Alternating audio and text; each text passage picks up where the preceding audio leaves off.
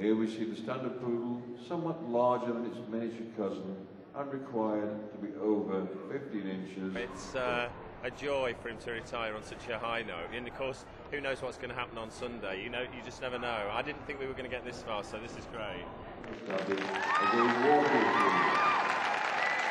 The larger size of poodle is used by the staff as a The way I see it is, it's like anything. You re- retire when you're on top. Everybody loves him at the moment. If we kept him out for like another year or two, then you know people get sort of it gets a bit tedious, doesn't it? So we're just delighted, and, and it's good to quit on top. I think.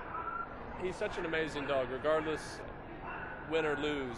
I mean, we're going home with a fantastic dog, but to see him in the ring in full stride, head carried high, groomed to perfection, it's, it's a great moment, and it was so exciting to see him get pointed to as number one. And it's the standard poodle.